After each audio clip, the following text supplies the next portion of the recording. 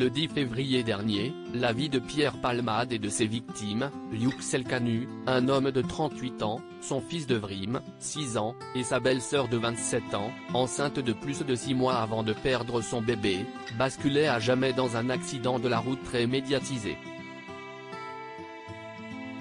Mis en examen pour homicide et blessure involontaire, l'humoriste de 54 ans a été placé sous contrôle judiciaire avec interdiction de quitter l'hôpital où il sera pris en charge jusqu'au 24 avril. Normalement les patients sont accueillis pour deux semaines, affirme une source proche du dossier dans les colonnes de Paris Match. Pierre Palmade, lui, sera resté six semaines. Si est un peu comme si les contribuables avaient payé sa cure de désintoxication. Sa sortie de l'hôpital s'annonce d'autant plus compliquée que ses proches lui ont presque tous tourné le dos.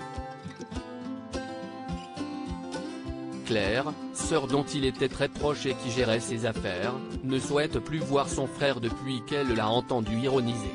Dis donc, elle va valoir cher, ma première interview. Sa mère Réanne n'a pas pris la peine de faire le déplacement depuis Bordeaux pour rendre visite à son fils qui ne garde comme seul lien avec sa famille qu'une autre sœur, avec laquelle il était jusqu'à présent fâché, Hélène. Du côté des amis, la situation n'est guère mieux.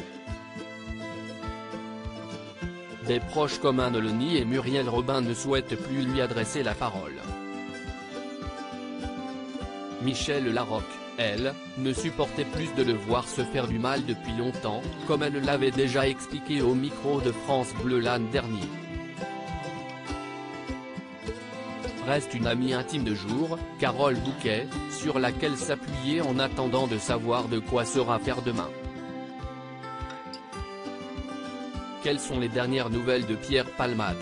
Ce mercredi 19 avril, Paris Match publie une première photo de Pierre Palmade où l'on découvre l'humoriste, veste à capuche, masque chirurgical sur le nez, escorté par deux hommes de sécurité dans les jardins de l'hôpital Paul Brousse de Villejuif.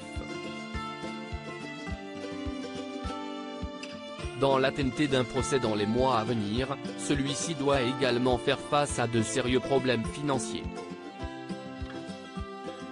Selon des informations exclusives de Closer, le Bordelais serait visé par des créanciers et n'aurait que trois mois pour rembourser une dette estimée à 250 000 euros. Passé ce délai, sa propriété de Célie-en-Bière, en Seine-et-Marne, serait saisie. Une dette conséquente contractée, selon des informations recueillies par Le Point, auprès de l'URSSAF, de l'impôt et son producteur.